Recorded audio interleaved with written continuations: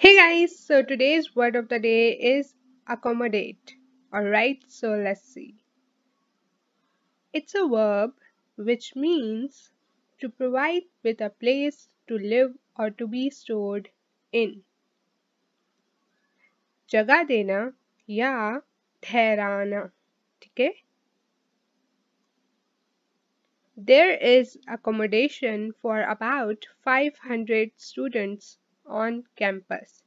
Campus में 500 लोगों के लिए जगह है 500 लोगों के ठहरने की जगह है ठीक है अकोमोडेशन रहने की जगह है That's it for this video. I really hope आपको अच्छी लगी. If लगी तो make sure to give this video a thumbs up.